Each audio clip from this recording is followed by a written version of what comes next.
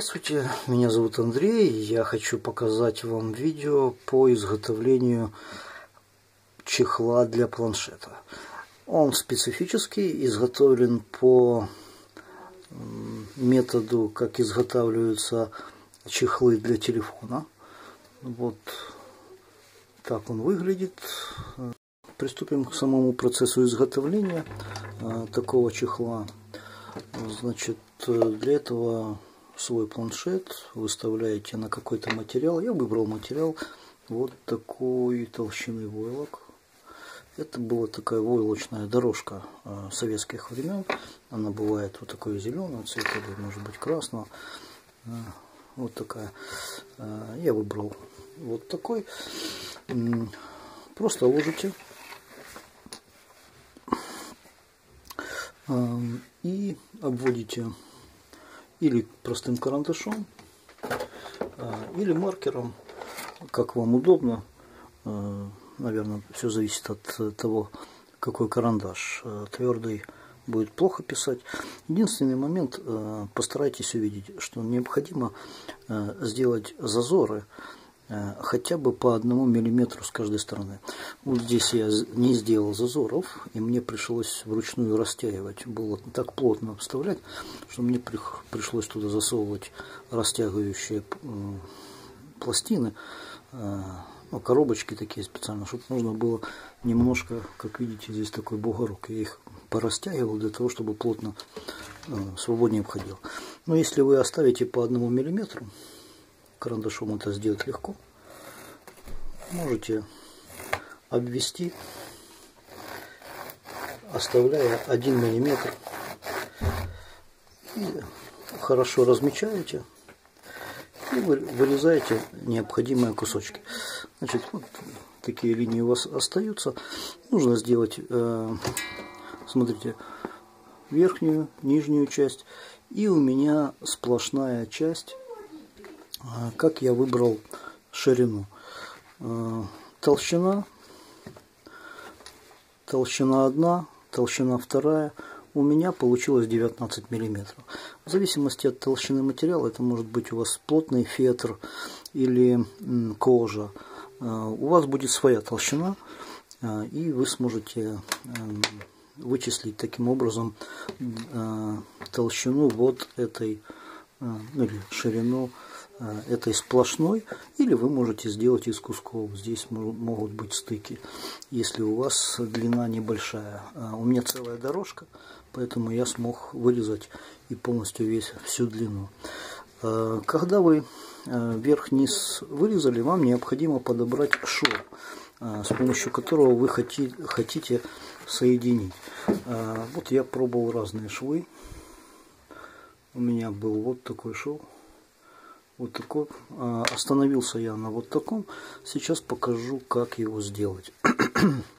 А, значит, э, начинаем а, отсюда, вставляем сюда.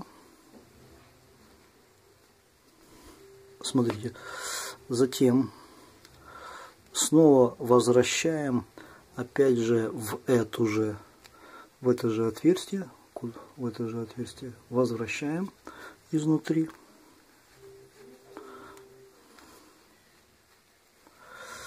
И переходим на следующую.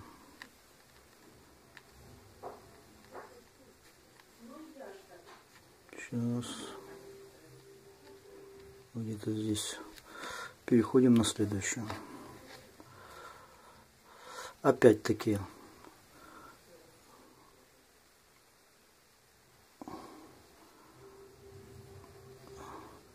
Теперь с этой следующей заводим сюда.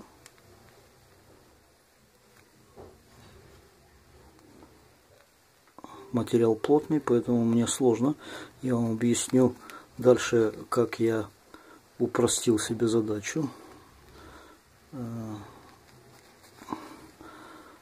потому что необходимо еще и чтобы ровно было ровно сделать очень непросто, особенно если материал плотный.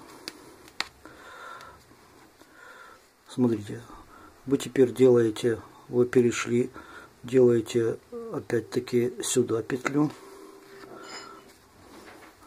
Снова возвращаетесь туда же, в эту же дырочку. И вернувшись в эту дырочку, уже теперь переходите на следующий стежок. Вот сюда.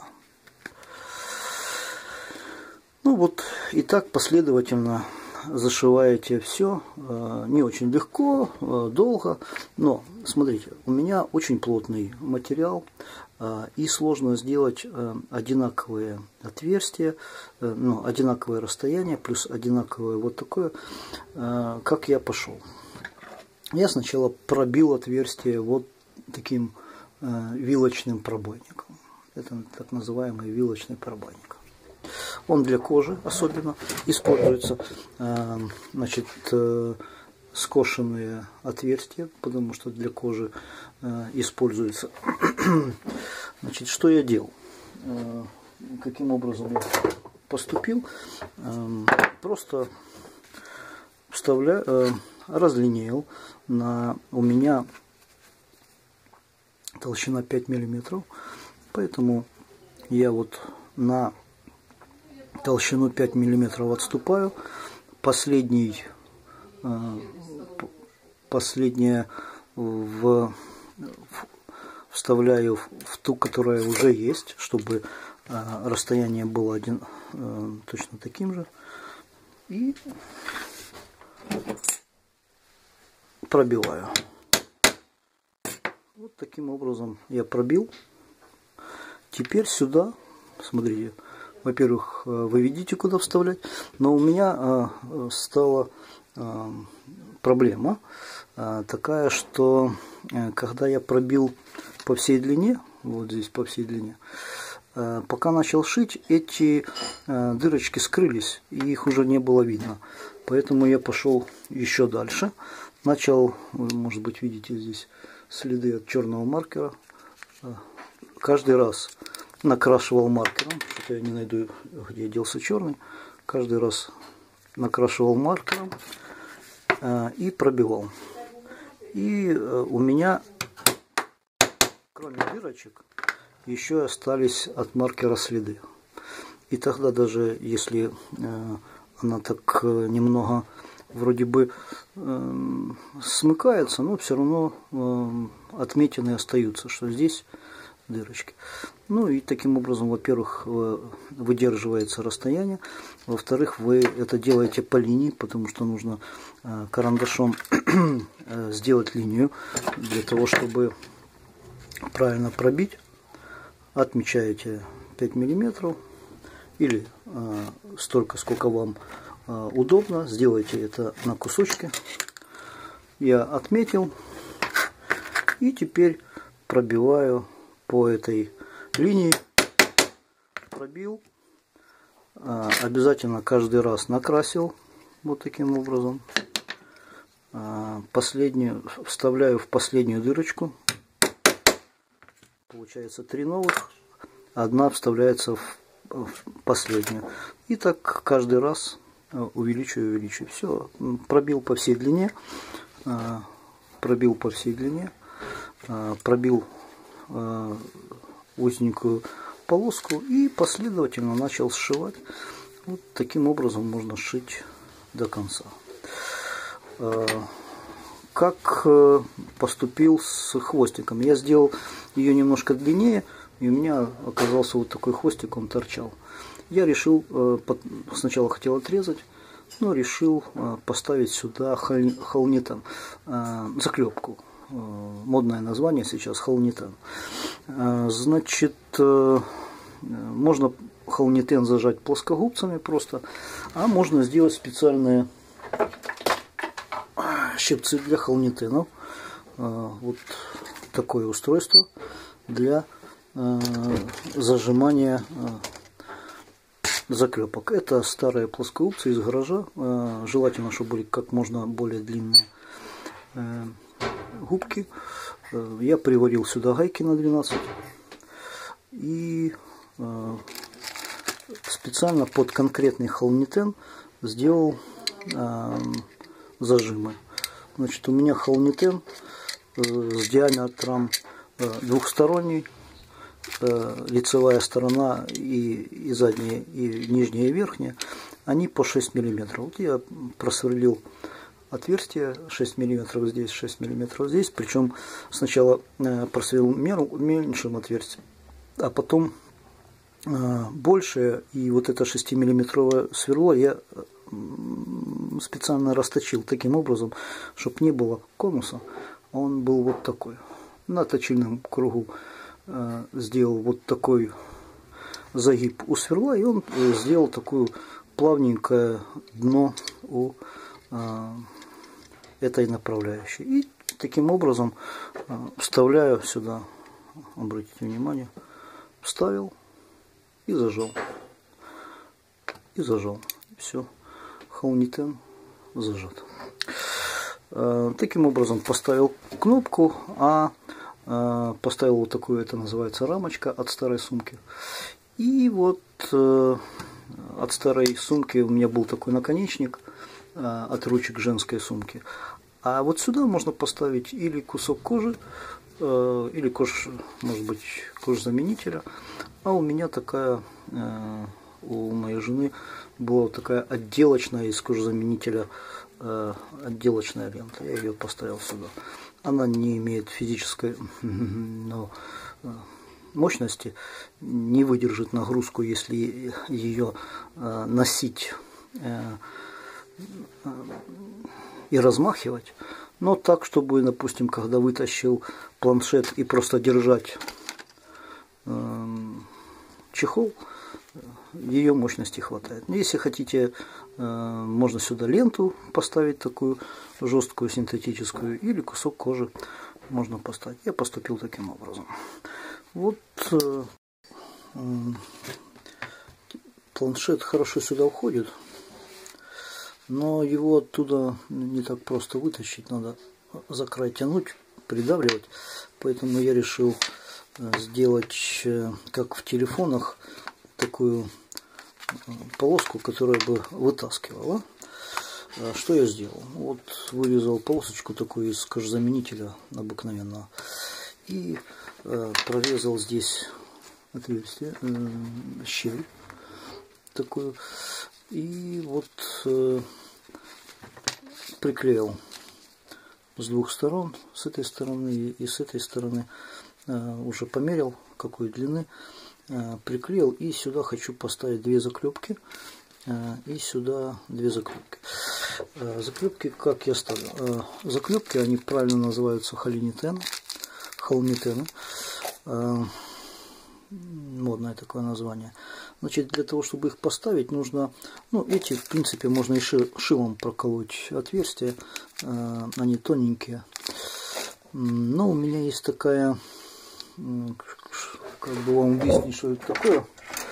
Эм, это трубочка э, с диаметром вставлена в ручку диаметр 2,8 это вот трубочка латунная от какой-то антенны, от радиоприемника. Самая тонкая трубочка. Я ее снял отсюда, вставил в ручку, просто просверлил отверстие, вставил в ручку и немножко краешек заточил. Теперь, э, благодаря этому, если поставить на какую-то досточку, наметить, допустим, вот здесь, э, вот сейчас, наверное, вот так вот. Если наметить, намечаем в каком-то месте, где я поставлю одну здесь, одну где-то вот здесь. Значит, ну просто придавливаем и крутим. Придавил и так проворачиваю просто чик-чик-чик-чик-чик-чик-чик. И все, оно насквозь прорезает отверстие. Надо немножко сильнее. Чик-чик-чик-чик. Теперь э, и также вторую ставлю и прорезаю. Опа. оно так слышно, хрусь, прорезал и там ну, насквозь уже прорезал. Теперь вставляем заклепки э, и ответную часть.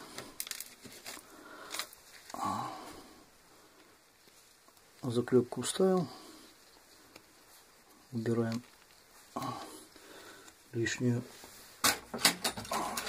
лишняя часть не отпала. Вырезаем ее.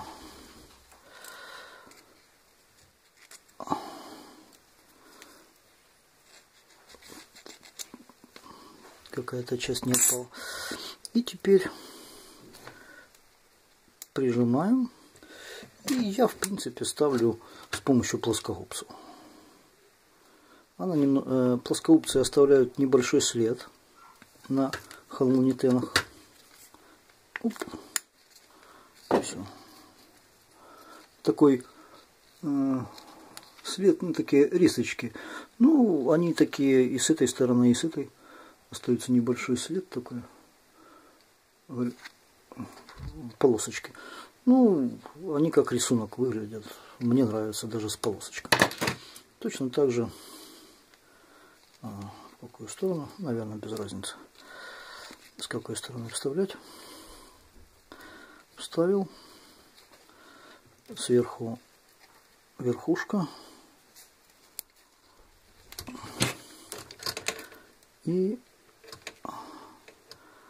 ровно поставил и поджимаю.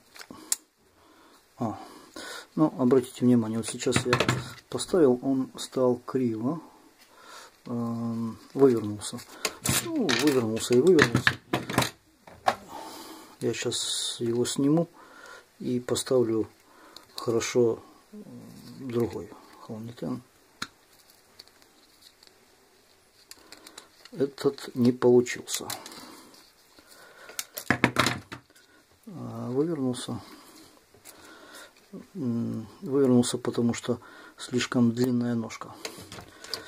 9 миллиметров для такого тонкого многовато.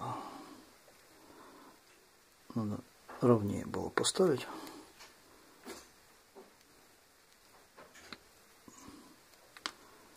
Ну, вот сейчас ставится ровно. Все равно немножко криво.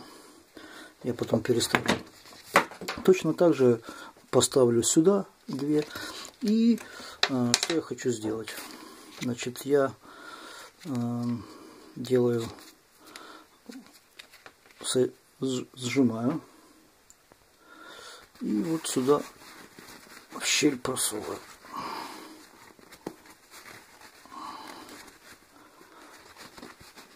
Изнутри в щель просовываю. у меня тут расширение. Раз. Вот так оно будет выглядеть.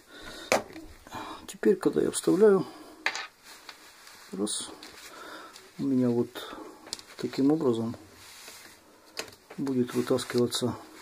Ну, собственно, это уже готовый вариант. Я сейчас сюда еще две заклепки поставлю. Такой чехол уже готов. Думаю, что у вас все получится. Подписывайтесь на мой канал, вы сможете увидеть много интересных видео по а, ремонту бытовой техники, по изготовлению различных полезных вещей. А, посмотрите в плейлисте, что вы сможете выбрать для себя.